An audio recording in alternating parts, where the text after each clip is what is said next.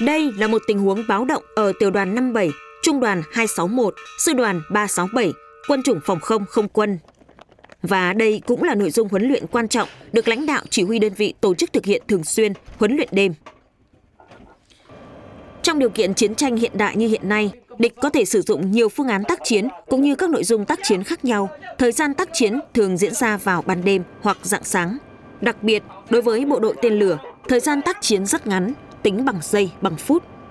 Thì khi tác chiến xảy ra, việc cơ động khí tài từ trận địa này đến trận địa khác cần phải nhanh chóng, khẩn trương và đặt ra yêu cầu rất cao đối với khí tài tên lửa. Chính vì vậy, công tác huấn luyện đêm, đặc biệt là nội dung cơ động khí tài cũng như thu hồi triển khai khí tài ban đêm, cần phải được thực hiện thành thục để khi vào thực tế chiến đấu, cơ động đến trận địa mới, bộ đội có thể hoàn thành tốt các nhiệm vụ trong triển khai chiến đấu và thực hành chiến đấu ban đêm. Mục đích cao nhất của huấn luyện đêm là đưa trạng thái tâm lý của bộ đội vào tình huống chiến đấu khó khăn nhất, phức tạp nhất trong điều kiện ban đêm ánh sáng yếu, ờ, thời tiết ờ, thay đổi khó khăn thì ờ, huấn luyện đêm là nhằm mục đích để sát với tình huống chiến đấu nhất. Công tác huấn luyện đêm là một nội dung hết sức quan trọng trong quá trình huấn luyện của đại đội hỏa lực Đồng thời cũng là nội dung mà quá trình tổ chức thực hiện gặp khá nhiều khó khăn. Đang từ điều kiện huấn luyện ban ngày đủ ánh sáng chuyển sang huấn luyện đêm, các chắc thủ chỉ được sử dụng ánh sáng hẹp từ những chiếc đèn cá nhân. Ngay cả việc dùng đèn khi cần thiết chắc thủ mới bật, tránh sử dụng đồng loạt nếu không yếu tố bí mật trong tác chiến sẽ không được đảm bảo. Cùng với đó, mỗi vị trí trong bãi tập đều phải thực hiện công việc chính xác, an toàn để khi hiệp đồng trong tổ, trong kíp, các công đoạn đều được nối thông, nhịp nhàng, chỉ cần một khâu chưa tốt sẽ ảnh hưởng đến cả dây chuyền. Để đạt được điều đó, các chắc thủ phải căng sức và tập trung cao độ.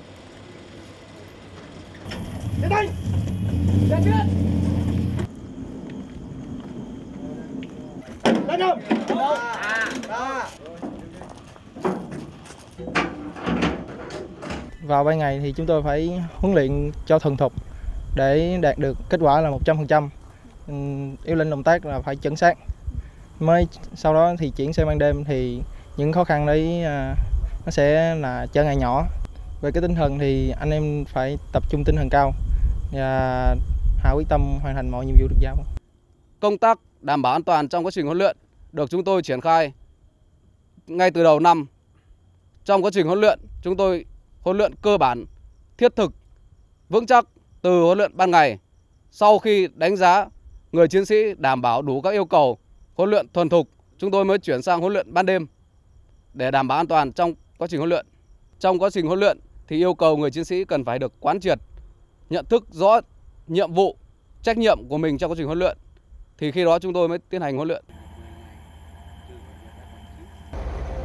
Trong quá trình huấn luyện đêm, lãnh đạo chỉ huy đơn vị đã tập trung đưa bộ đội vào các nội dung trọng tâm trọng điểm như huấn luyện đội ngũ chiến thuật một xe một máy, huấn luyện thu hồi triển khai khí tài, làm công tác chuẩn bị chiến đấu cho khí tài, tháo nạp đạn. Ngoài ra còn huấn luyện hành quân di chuyển ban đêm để rèn luyện sức khỏe cho bộ đội.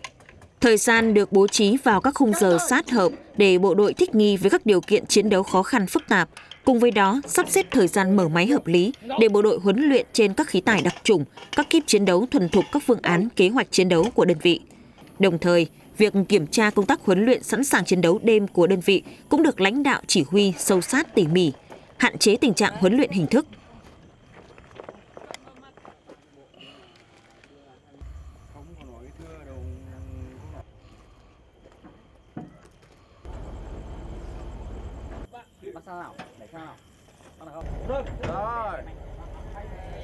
Thực tế, công tác lãnh đạo, chỉ đạo, nhiệm vụ huấn luyện, sẵn sàng chiến đấu, quản lý bảo vệ vững chắc vùng trời khu vực miền Đông Nam Bộ của Tổ quốc. Thời gian qua, Trung đoàn rút ra một số kinh nghiệm nâng cao chất lượng huấn luyện sẵn sàng chiến đấu hiện nay như sau. Thường xuyên giáo dục,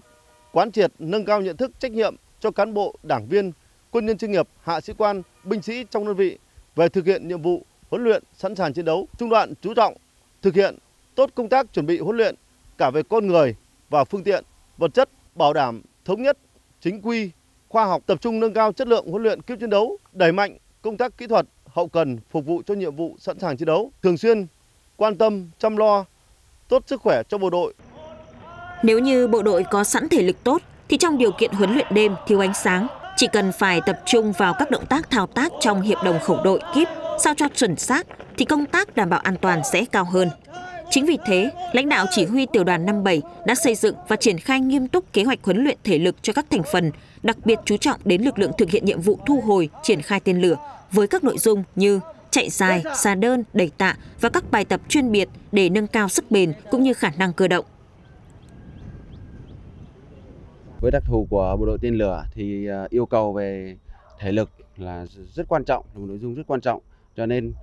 là đối với đơn vị chúng tôi là ngoài trong các cái à, buổi huấn luyện chính khóa thì chúng tôi còn tổ chức cho bộ đội huấn luyện ngoại khóa theo các cái à, đặc thù của từng bộ phận. Ví dụ như là cho đại đội 2 trước khi vào ờ, huấn luyện thu đặt bệ thì chúng tôi đã cho thường xuyên là cho bộ đội huấn luyện nội dung là chạy 3.000 m trước khi vào ờ, thu hồi để rèn luyện cái bản lĩnh tâm lý. À, đối với về nội dung huấn luyện đêm thì à, yêu cầu thể lực nó có một cái nó quan trọng, nó qua rất là quan trọng. Đấy là là ừ, khi mà có được thể lực tốt thì à, bộ đội mới có được cái cái bản lĩnh và tác phong làm việc nó chuẩn xác Lịch sử đã để lại cho bộ đội tên lửa những bài học đắt giá về khả năng tác chiến linh hoạt cũng như sự tập trung cao độ, vạch nhiễu tìm thù trong những tình huống tác chiến ngặt nghèo nhất. Trong những bài học đó, công tác huấn luyện, khổ luyện luôn được đặt lên hàng đầu. Và ở tiểu đoàn 57, trung đoàn 261, sư đoàn 367, quân chủng phòng không không quân, huấn luyện đã khiến bộ đội tên lửa trở thành những đôi mắt tinh tường bất kể ngày đêm miệt mài canh trời tổ quốc